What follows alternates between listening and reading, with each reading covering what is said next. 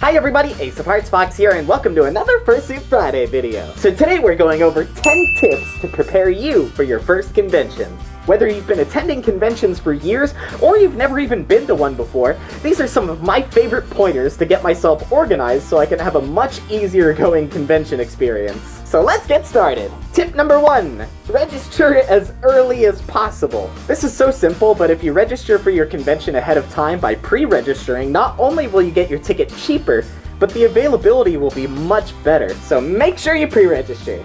Tip number two, be on top of your hotel booking. This goes especially for larger conventions because the hotels can sell out way fast. Always make sure you know when the room blocks are going to open for each hotel, and if there are multiple hotels, try to have a backup because I was registering for Anthrocon a few years back, and when I was booking my hotel, by the time the page loaded, my hotel was completely sold out. So make sure you have a backup hotel that all of you and your friends agree on. Also, I know it's cheaper to cram like 20 people in a room together, but don't do it. It's so uncomfortable. Tip number three, have a packing list. I know this sounds kind of silly. I mean, we should be able to pack our own stuff, but there's lots of little things that we tend to forget. If you write a list ahead of time, then you'll be way more organized, especially if you're like me and you tend to do all your packing at the last second. So if you write everything down, it'll make your life that much easier. And now, tip number four, know your expenses. There's so much more that goes into a convention than just the registration and the hotel costs. You're gonna probably want to buy merchandise while you're there. You're gonna have to buy food. You're gonna have to pay for travel. If you're driving, figure out how much you're spending on gas. If you're flying, figure out how much it is to check bags. I also like to set a little bit of money aside for emergencies. It's one of those things that you don't typically think about, but man is it a lifesaver when you need it. When you're getting ready for a convention, make sure you plan all of your expenses. And now, tip number five, be ready for badge pickup. So you've arrived at the convention, you're all unpacked, and you're ready to go out there and have fun. Well, the first thing you need to do is make sure you pick up your badge. Most conventions require, for pre-registering, that you have a photo ID on you. And for those of you that are under 18, you might have to have a parent or guardian sign a waiver for you. So make sure you figure out ahead of time what kind of paperwork you might need. There's nothing worse than showing up to a convention after all that traveling and all that work and all that packing, and then not being able to have any fun because you don't have the right stuff to pick up your badge.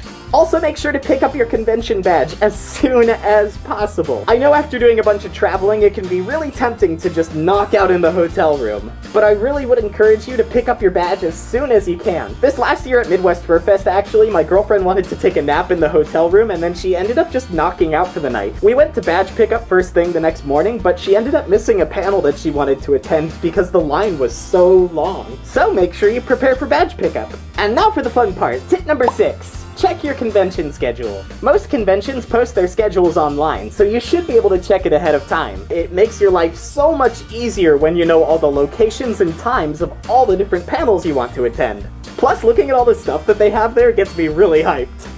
Which brings me to tip number 7. Show up early to panels and events. My recommendation if you want to get a good seat is to show up 30 to 60 minutes before the start time. If you don't really care where you'll be sitting during the thing and you just want to be in the room, you can definitely show up closer to the start time. So if there's something you've been looking forward to all weekend, make sure you show up early. And now, tip number 8. Follow the 621 rule. What is the 621 rule? Why, I'm glad you asked, other part of this conversation. The 621 rule stands for 6 hours of sleep, 2 meals, and 1 shower per day. Now mind you, these are the minimum requirements for a healthy, healthy weekend. I know it's really easy to get caught up in the craziness of a convention, but you're gonna wanna make sure that you're taking care of yourself. One thing about conventions that is infamous is something called con crud. It's a result of people being completely exhausted by not following the 621 rule. So keep this in mind if you want to have a much more comfortable convention experience. And now, tip number 9! Go with the flow. A lot can happen during a convention, so you might not be able to get to go to every single panel you wanted to go to, or every single show that you wanted to see, or you might not be able to meet all the people you wanted to hang out with. The important thing is that you get the most out of the stuff that you do manage to attend. Which brings me to our final tip of the day. A convention is what you make of it. For instance, if you want to have a crazy party weekend, then go find people to party with. Go to the dances, check out some panels, go meet people on the floor. If you want to have a chill vacation, then find some laid back people to hang out with and maybe have a get together in your hotel room. Whatever your ideal convention situation is, it's up to you to make that happen. So thanks for watching today's video, everybody. I hope you enjoyed it. Do you guys have any convention prep tips that I missed in this video? Go ahead and leave them in a comment down below. I do read every single comment and I try to reply to as many as possible. Also, if you guys want to directly support the channel, my merch store and Patreon links are in the description below. Well, that's all I got for you guys today. Thanks again for watching, everybody. My name's Ace of Hearts Fox, and I will see you all in the next video.